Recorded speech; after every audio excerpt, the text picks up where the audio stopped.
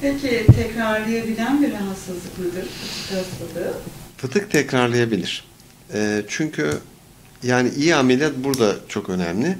Ee, bölgenin önce normal anatomik hale getirmesi üzerine yama konması, o yamanın oraya adaptasyonu için bir buçuk iki ay gibi vakit geçir, geçmesi gerekiyor. Ondan sonra da biraz kişinin kendini koruması lazım.